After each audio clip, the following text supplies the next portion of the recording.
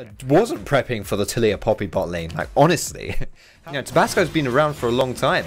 Oh, but this is a good engage here for the bot side. The hard counter for ends. Poppy saying, you're not allowed to even be a champion. You're not allowed to do anything. Easy kill. Looking to follow that up with two gifted over to the bot lane.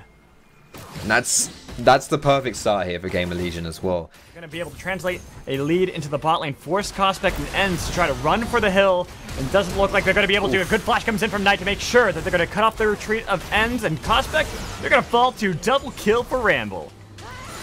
Where they really need to start focusing, this Trundle, I doubt, is going to start making it through too many pick and bans, because they're easily able to exert this pressure into the bot lane. Ends and Cospect are forced to keep Tabasco nearby just so they can see if they can survive. This turret might fall soon after uh, one good Q comes in to be able to pick up the kill on the Cospect. The so they nice. are looking like they're going to be able to back out, but Tabasco fighting against Hjarnan, who has a level lead, and the flash in from Wisdom, so they get a killing spree onto this Taliyah. Exhaust going to be used. Good knockup comes in on the Phantom Melissa, trying to see if they can give more gold over to Hjarnan. Double kill will come through this Taliyah. And there it is, you're going to break the inhibitor tower open pre-20 minutes.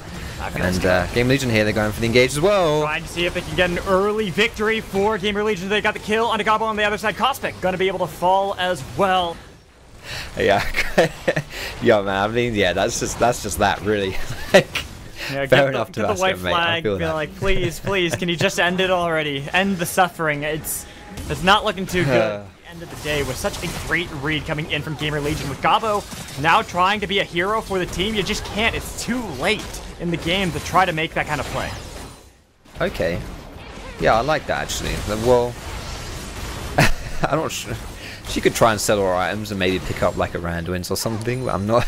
Either way, I'm not. I'm. I'm going to be honest. I don't think it really increases their chances. I think that we just got to see how the games are learned for YDN. We mentioned it before. The draft was a bit of a mistake, but Gamer Legion, they look so clean in this first showing on the main stage, even though they're going for the fountain dive at the very end, trying to pad the KDA wherever possible, give more kills over to Hjarnan, say, doesn't matter if you ban away my Heimerdinger, I got more mages up my sleeve.